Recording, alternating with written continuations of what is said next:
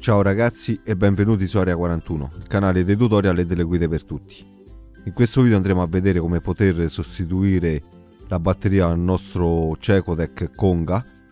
Questo, questo tutorial andrà bene per praticamente tutti i modelli della Cecotec, quindi la cosa importante è che vi aiuterò a capire quale, quale sarà la batteria più adatta al vostro modello. Durante il video vi spiegherò anche il perché. Prima di iniziare vi ricordo di iscrivervi al canale, attivare la campanella degli avvisi per essere sempre aggiornati sui nuovi video, seguirci sui nostri canali social Instagram e Facebook che trovate in descrizione e anche sul canale Telegram dove trovate offerte su molti prodotti.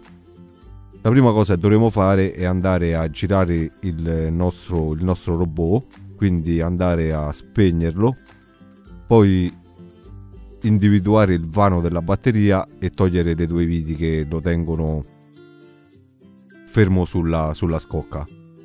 Una volta tolte le viti andremo ad aprirlo e potremo accedere alla batteria vera e propria.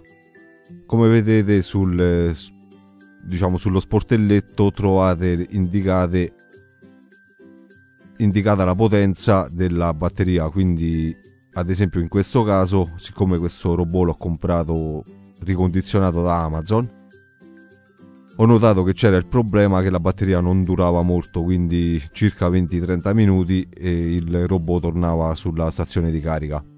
Questo perché, come vi sto facendo vedere adesso, la batteria è sottodimensionata rispetto a, alla potenza che dovrebbe avere, in quanto questo è un Conga 1790 Titanium e ha bisogno di una potenza di 40 watt, invece come avete visto la batteria ha una potenza di sole 36 Wh, quindi praticamente non aveva l'energia necessaria per far funzionare il robot per tutto il tempo che avrebbe dovuto avere di autonomia. Ne ho presa una nuova, chiaramente l'ho presa della stessa potenza, ho, non vi nascondo che ho avuto diverse difficoltà perché praticamente sia sul sito della Cecotec e sia su Amazon non veniva specificato cioè sul sito Cecotec non c'era proprio disponibile. Sul sito Amazon o eBay eh, non era specificato che questa batteria andasse bene anche per, eh, per questo tipo di, di robot.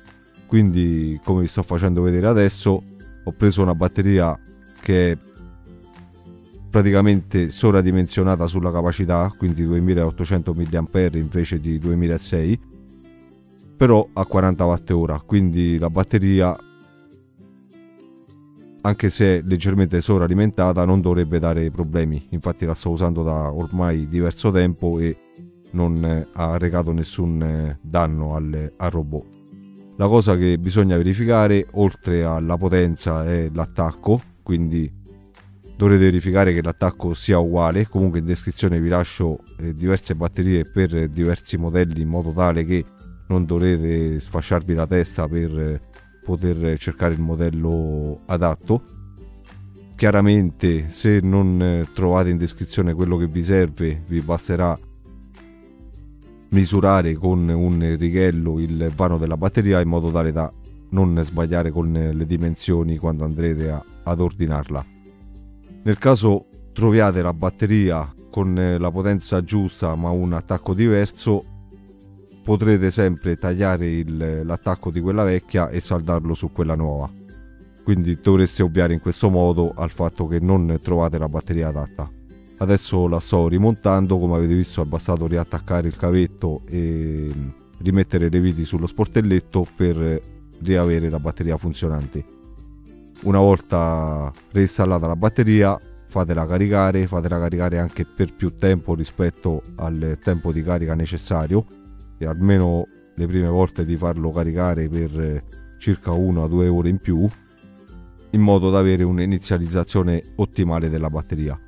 Se il video vi è stato utile lasciate un like, se avete dubbi o domande ponetele pure nei commenti, iscrivetevi al canale e attivate la campanella degli avvisi per essere aggiornati anche sui nuovi video in quanto creerò una playlist solo per questi prodotti della Cecotec. Seguiteci sui nostri canali social Instagram e Facebook, li trovate sempre in descrizione Grazie della visione e al prossimo video.